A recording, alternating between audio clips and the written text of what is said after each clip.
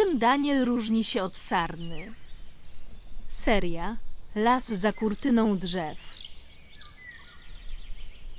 Sarna europejska i Daniel zwyczajny należą do tej samej rodziny jeleniowatych.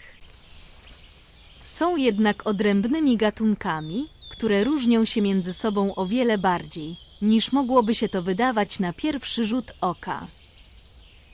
Ze smukłą budową sarny najmocniej kontrastuje nieco masywniejsza sylwetka Daniela. Szczególnie krótkie, ale mocne nogi. Oba gatunki łatwo pomylić w okresie zimowym. Wtedy okrywa ciała Daniela i sarny staje się ciemnobrunatna.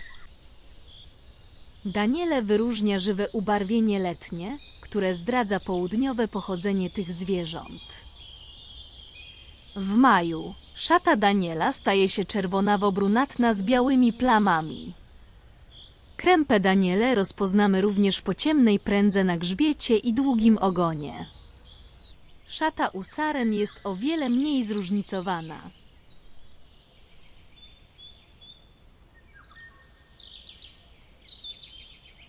Na tle swoich egzotycznych kuzynów, rodzime sarny wypadają bardzo pospolicie. Zimą ubarwienie sarny zmienia się w ciemnopopielate z widoczną jasną plamą w okolicach krótkiego ogona.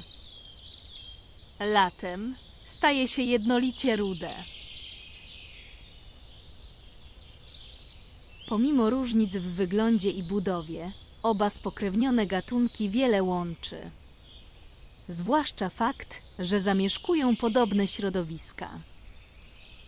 Sarny i daniele preferują urozmaicone kompleksy leśne, przeplatane polami, łąkami i lasami, w bliskim sąsiedztwie terenów uprawnych. Chociaż daniele rzadziej spotkamy na bagnach i terenach podmokłych.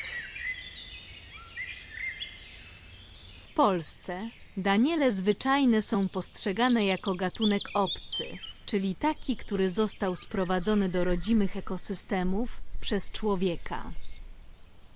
Jednak jeszcze 2,5 miliona lat temu daniele żyły niemal w całej Europie.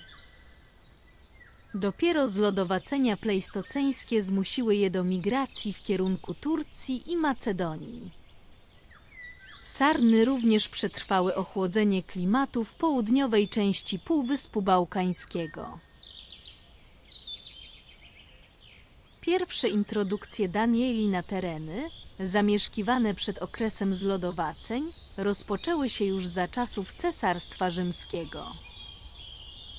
Na początku zwierzęta te były sprowadzane do hodowli i łowisk zamkniętych.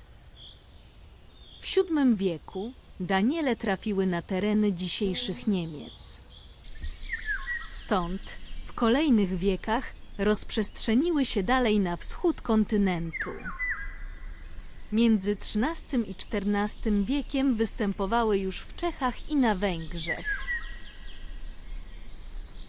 Na ziemię dzisiejszej Polski, Litwy, Białorusi i Ukrainy daniele zostały sprowadzone w XVI wieku. Zwierzęta te były cennym nabytkiem dla każdego z królewskich i magnackich zwierzyńców. Pierwsze, dziko żyjące Daniele, to szczęśliwi uciekinierzy z niewoli. Świadome introdukcje tych zwierząt do środowiska naturalnego rozpoczęto dopiero w drugiej połowie XIX wieku. Obecnie Daniele i sarny ponownie opanowały obszar niemal całej Europy. Występują we wszystkich regionach Polski. Zmiany klimatu sprzed 2,5 miliona lat zmusiły wiele gatunków do migracji na południe. Daniele powróciły na tereny sprzed zlodowacenia dzięki opiece człowieka. Sarny nie potrzebowały niczyjej pomocy. Kolejny film już wkrótce. Zachęcamy do lajkowania, komentowania i udostępniania. To największe wsparcie dla kanału Geografia Malownicza. Zapraszamy również do odwiedzenia strony geomal.com.pl.